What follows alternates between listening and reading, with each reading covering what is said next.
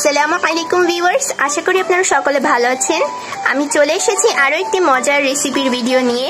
আমার আজকের রেসিপিটি হলো মজাদার পেয়ারা মাখা। এই মৌসুমে পেয়ারা অহরহ পাওয়া যাচ্ছে, তাই এখন এই পেয়ারা দিয়ে বানিয়ে ফেলুন মজাদার পেয়ারা মাখা। চলুন তাহলে দেখে নেওয়া যাক কী করে এই পেয়ারা মাখাটি তৈরি করতে হয়। এর জন্য আমি এখানে দুটি বড় সাইজের পেয়ারা নিয়ে নিয়েছি। পেয়ারাগুলোকে আমি ছোট ছোট টুকরো করে কেটে নিব।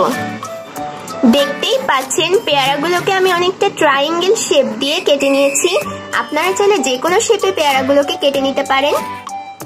পেয়ারাগুলোকে মাখিয়ে নেওয়ার জন্য আমি এখানে নিয়ে নিয়েছি ওয়ান টেবিল স্পুন পরিমাণ চিনি স্বাদ মতো লবণ, বিট লবণ ওয়ান ফোর্থ কাপ পরিমাণ তেঁতুল, এবং এখানে আমি শুকনো ঝাল নিয়েছি। শুকনো ঝালকে আমি ভেজে ছোট ছোট টুকরোয় পরিণত করে নিয়েছি। এবারে আমি মিক্সিং বলে একে একে সব উপকরণগুলো দিয়ে দিব। প্রথমে আমি দিয়ে দিচ্ছি শুকনো মরিচ স্বাদ মতো লবণ, বিট লবণ, তেঁতুল এবং চিনি। এবার আমি সব কিছুকে একসাথে মাখিয়ে নিব।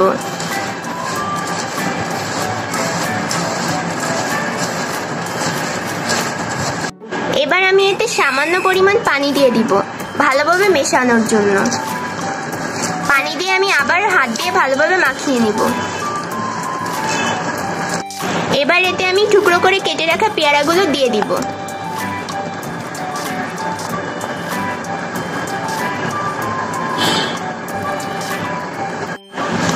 পেয়ারাগুলো দিয়ে আমি আবার এই সব কিছুর সাথে ভালোভাবে পেয়ারাগুলোকে মাখিয়ে নিব।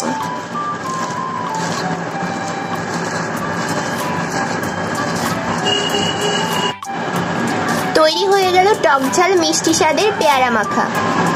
আমার এই ভিডিওটি ভালো লেগে থাকলে আমার চ্যানেলটিকে সাবস্ক্রাইব করুন এবং পাশে থাকা বেল আইকনে ক্লিক করুন। তাহলে আজকের মতো বিদায় নিচ্ছি। সবাই ভালো থাকবেন, সুস্থ থাকবেন। আল্লাহ হাফেজ।